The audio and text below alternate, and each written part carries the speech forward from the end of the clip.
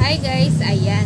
Meron pala nag-message sa akin, naghihingi siya ng tips kung ano daw pwede kong mabigay na tips sa kanya kasi magbubukas siya ng motor shop. Sabi ko naman, yung unang-una, syempre dapat maganda yung pwesto, daanan ng tao. Tapos yung nakikita yung shop niya.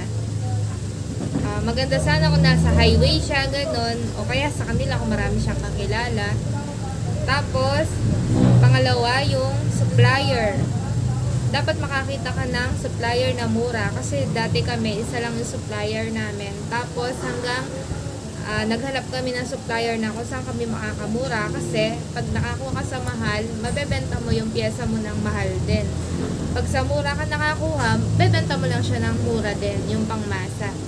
Yan. Dapat meron ka din mga original, mga branded, tsaka pangmasa lang. Kasi yung customer minsan naghahanap ng mga branded na pyesa. Yung iba naman, yung kaya lang ng bulsa nila. Ayan. Pangatlo, yung mekaniko. Nakakatulong din sa shop yung mekaniko na magaling. Kasi dati kami, may mekaniko na magaling. Tapos, ah, umalis na siya. Humina yung shop kasi marami naghahanap sa kanya.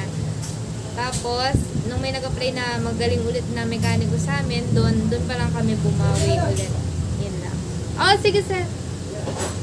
Ayan. Dapat magagaling din yung mga mekaniko nyo, yung mga walang back job, ganon.